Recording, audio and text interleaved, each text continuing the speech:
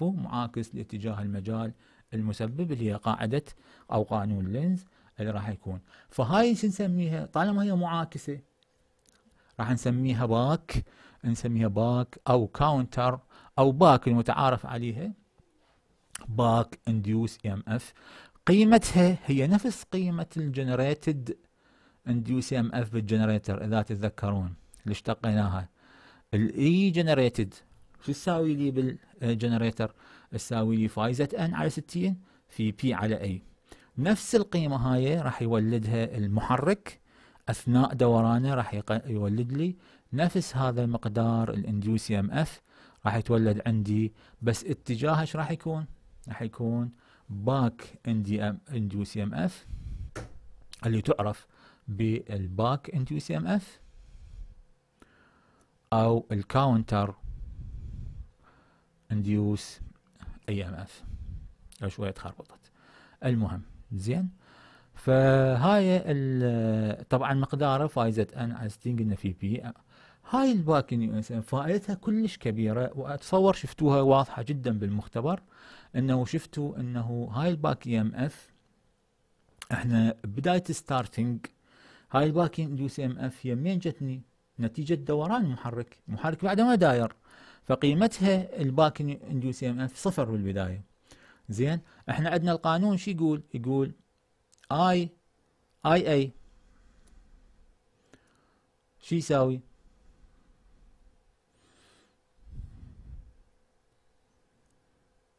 يساوي V ناقص E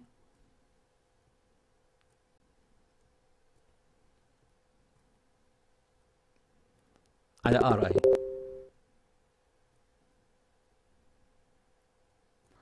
طبعا بالبداية ال E إيش قد؟ المحرك بعد داير ال E back ال E back إيش قد؟ الاي باك عندي صفر. فالتيار شو يساوي؟ يساوي V ناقص صفر. ف V على R a فإذا قلنا ال V إيش قد؟ عندي 100 100 فولت. والمقاومة 1 أوم. فإيش قد راح يصير عندي تيار؟ راح يكون 100 على 1 100 أمبير.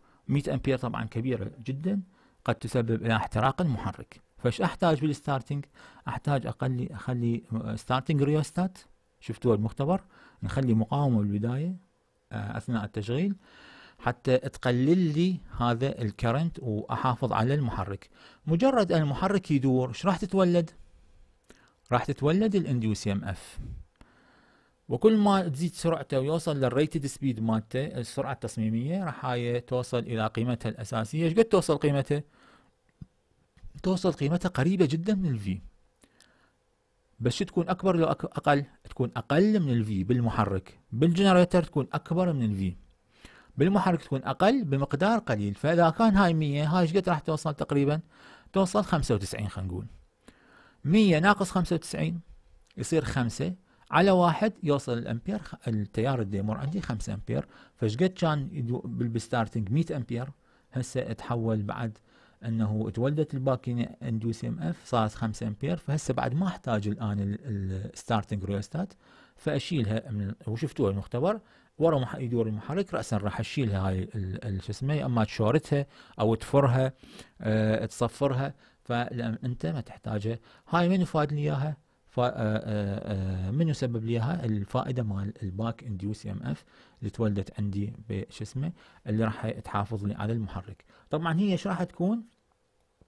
طبعا قيمتها تتناسب ويا السرعة. ليش؟ حسب هذا القانون. قيمتها شو تساوي؟ فايزة ان ان هي شنو؟ السرعة. فهي تتناسب طرديا مع السرعة. نفس مال الجنريتر تتناسب طرديا مع السرعة. فكل ما أني أحمل على المحرك قيمتها شو يصير؟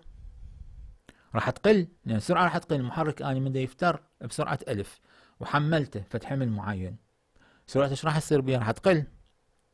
إذا قلت سرعته راح تقل هاي ال back emf إذا قلت ال back emf التيار إيش راح يصير بيه؟ راح يزيد حتى يعوض لي هذا القدرة أو ال torque الإضافي اللي يتحمل على المحرك. فراح يسوي لي balance اوتوماتيكيا balance بمقدار هذا ال torque طبعا اللي راح يتولد عندي على المحرك حتى يفره. آه بهذا الاشتقاق البسيط ال torque يساوي ال force المتولدة على ال conductor. إذا قلنا هذا ال conductor وهذا نصف قطر ال armature فال force شو تساوي لي؟ تساوي لي ال torque يساوي ال force في الذراع اللي هو نصف قطر ال armature ويساوي في عدد الموصلات.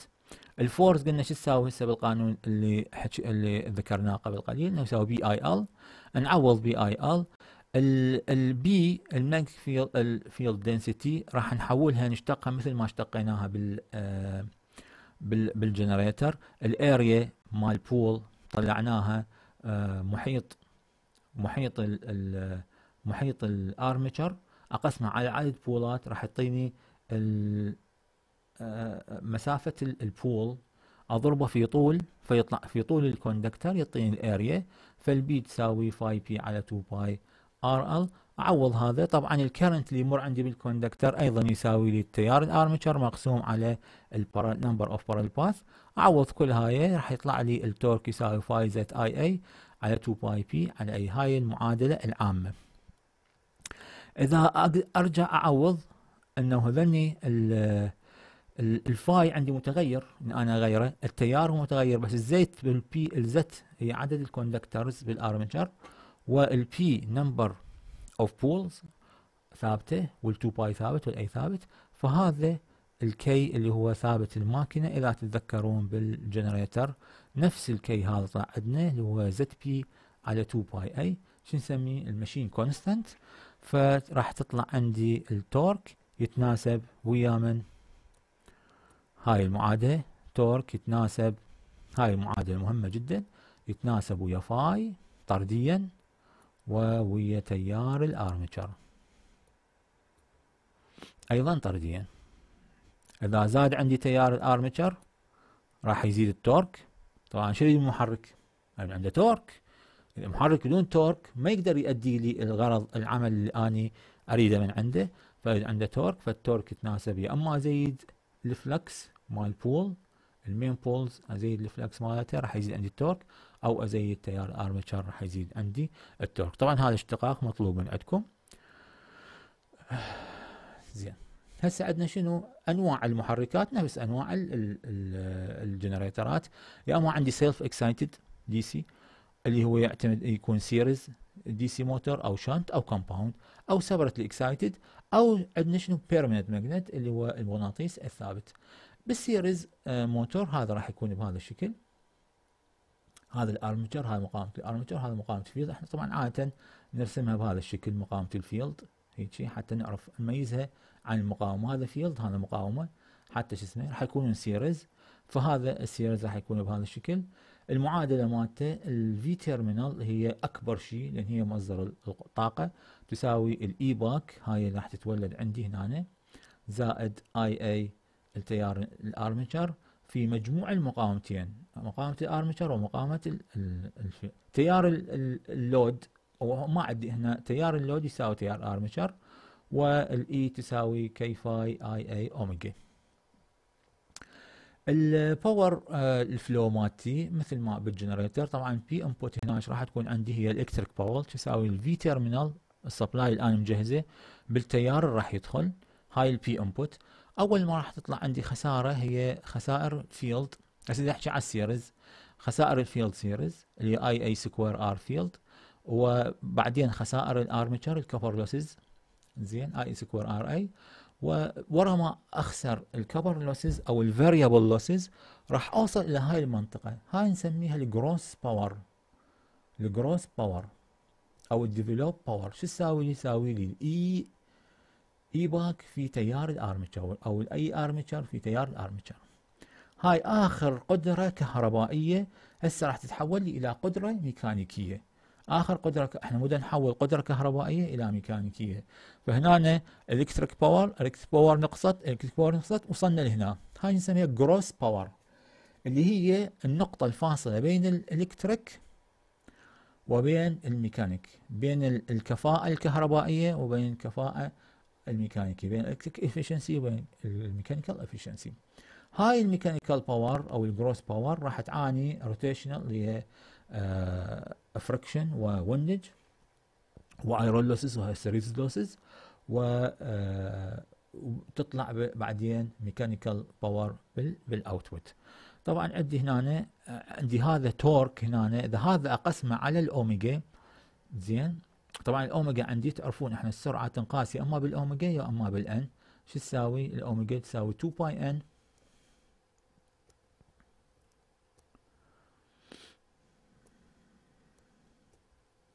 N هي السرعة بال RPM على 60 شو يعطينا rad per second. فإذا أقسم هاي ال power ال gross power على الأوميجا هي سرعة ال shaft سرعة ال shaft واحدة هو ما تقسم. هي سرعة سرعته هنا سرعته بس ال torque هنا يختلف عن ال torque هنا. راح يعطيني ال torque هنا ال gross torque. ال P out إذا أقسمها على الأوميجا راح تعطيني ال shaft torque. ال T shaft اللي هو أو ال output torque أو ال shaft torque واللي راح احصله اني بال shaft هو هذا النهائي اللي راح استفاد من عنده.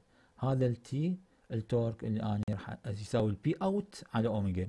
هذا شو يساوي؟ ال gross torque power على وال efficiency ال total شو تساوي؟ P out على P in وعندي هنا electric efficiency وهنا عندي mechanical efficiency طبعا هذا سؤال بسيط آه، حسابات بسيطة. نعطيك ال DC motor هو series آه، القدرة مالته 6.5 كيلو وات power يسحب آه، 12 ونص امبير مقاومات ال armature وال field نعطيك إياها ذني. ومعطيك stray losses 1.3 يعني شنو؟ يعني constant losses يعني أنت ما عليك بس تحسب الـ الـ الـ تحسب منه ال copper losses اللي راح تصير هنا معطيك إياها هي الثابتة معطيك إياها اللي هي mechanical و hysteresis و friction كلها معطيك إياها. شو تساوي؟ كلها مجموعها 1200 واط أو 1.2 كيلو واط زين يقول لك اريد من عندك ال V terminal طبعا ال V terminal شو تساوي؟ ال V terminal تقسم. ال P out على ال P in على على على ال current ويريد من عندك ال induced ال back induced EMF وال gross torque شو اسمه؟ ال V terminal هذا أول مطلب بس تقسم ال power على التيار. يعني ال P input هنا هي 6.5 كيلو وات تقسمها على التيار اللي يدخل راح يطلع لك ال V terminal تطرح من عندها ال drop اللي هنا راح يعطيك ال induced EMF اللي هو المطلب الثاني. ال gross shaft torque يساوي؟ E في Ia مطلعة ال E تضربها بال I يعني بس حسابات بس عبارة عن سؤال بس حسابات تحسب. efficiency تطلعت هذا تطرح من عند ال gross ال constant يطلع لك ال P out P out تقسمه على ال P in اللي هو معطيك إياه. راح يطلع عندك اللي نحل السؤال. هاي طبعا الأجوبة مالته. حتى تتاكد من حلك. هذا سؤال ثاني هم بسيط. ما بي وبي الأجوبة. ال shunt motor نفس الشيء بس نفس ذا ذاكرهم ال generator. هنا أنا عندي field وهنا أنا armature ال current راح يتوزع آه، بين ال field وتيار ال field يكون قليل وتيار ال armature يكون هو الأكبر. زين فالش اسمه؟